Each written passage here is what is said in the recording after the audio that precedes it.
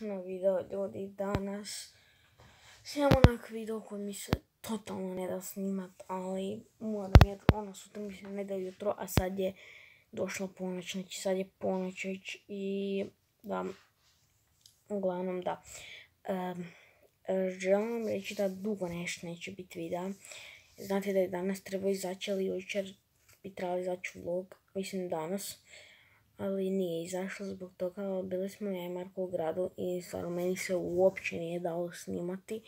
Znači, nije, nisam imao vremena kao prvo, kao drugo, nije mi se dalo, mi se, znači nije mi se dalo pogledati kameru. Tako da, ono, ne znam, ne znam šta da radim, postala sam na, na Instagram šta da radim. Ako me pratite, znate zašto me pratite. Ako me ne znate, onda me znate, onda me pratite. Niko nije skontao. Uglavnom, da.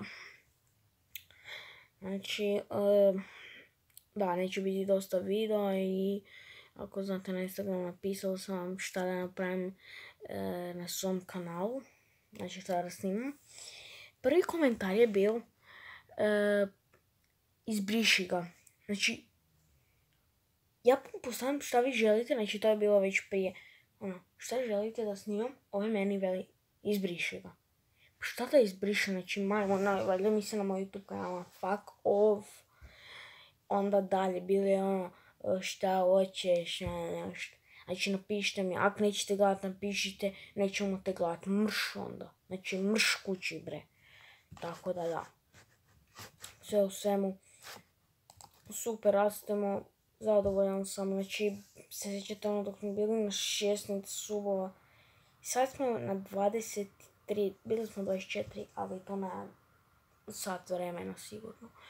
Tako da da. Znači, obavezno, znači obavezno uh, se subscribe Ako niste, zašto se niste subscribe mrš se subscribe Tako da, ne, 24 imamo subscribera. Oh yeah, bro ne 23, 23 imamo. Tako da kanal nam raste, ako ne želite vidjeti live napišite mi sami. Želimo gledati live jer znamo live su po, po 2, 30 sekundi, 24, mislim realno bit će live, znači možemo sutra ujutro napraviti live koji će biti sat vremena kak, jesu live na 15 minuta, znači 15 minuta ja snimim klip, tako da da, sve u svemu lajkajte i ovaj video i subajte se. Znači ako na ovom video bude 5 lajkova, to znači da ću ja dalje snimat. Ako ne bude, znači da više neću snimat. Ok.